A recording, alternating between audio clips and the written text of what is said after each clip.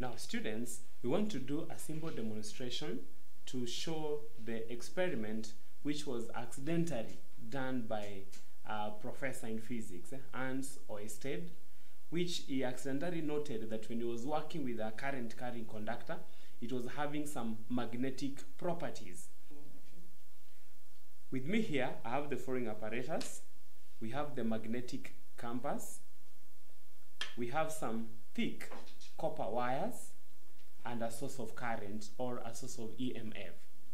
With this apparatus, we want to demonstrate what um, the Ampere's swimming rule is eh, as far as the deflection, all the uh, evidence that there is a magnetic field, and also we can be able to verify the Ampere's swimming rule. Now, here we have a source of EMF or a source of current, and as you can see, it is uh, not connected. The circuit is not complete. And we want to see when the circuit is uh, open, eh, what happens to the pointer on the compass, on the magnetic compass. Now, uh, as you can see, it is resting. Uh, the, the, the, north of the magnetic compass is re resting towards the north. And I'm going to place my wire, and you can see there is no deflection. There is no deflection. Now, once it is resting on top of the wire, I'm going to complete the circuit on this end. And once I complete the circuit, you are going to observe the deflection of the magnetic pointer.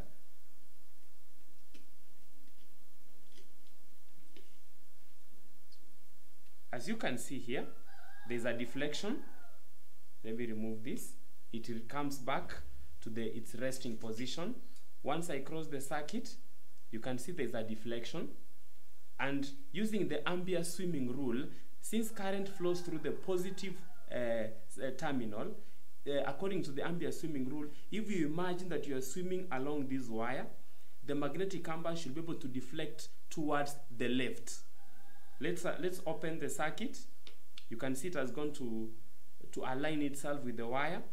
Once I close the circuit, you can be able to see that it's able to deflect towards the left as predicted by the Ampere's swimming rule.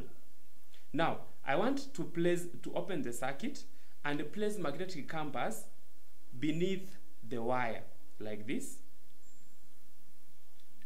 I bring my compass on top of the wire and we see whether there is going to be a change in the deflection of the magnetic compass. Now the switch is, uh, the circuit is open. Let's try to close the switch and we see what happens.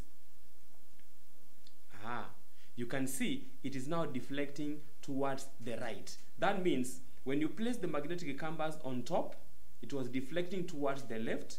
But now when the wire is from the bottom, we'll try to imagine we are swimming from beneath the magnetic compass. And therefore, if we swim and we are facing the magnetic compass, then you can see that you're going to, um, you're going to, you are swimming um, and you're facing the magnetic compass, you're going to deflect towards the opposite direction. Let me open it. Let me open the switch. You can see it is going back to the original position.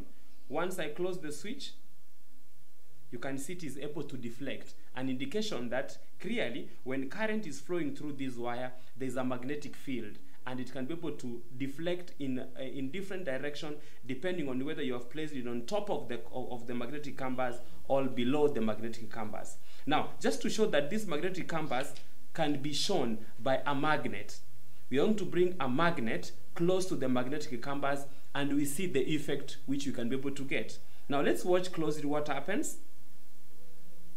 Good. You can see when we place the magnet close to the magnetic compass, there is some repulsion and it's able to show a deflection. A similar one, the one which you have seen when you are placing, um, when you are placing, you can be able to see it is able to move because of the force of repulsion and attraction. The same, same effect which you are getting when you are closing the switch. You can see that? When you open the switch, it goes back to the resting position. When you close the switch, it is able to show a deflection. This is a clear indication that a current carrying conductor possesses a magnetic field.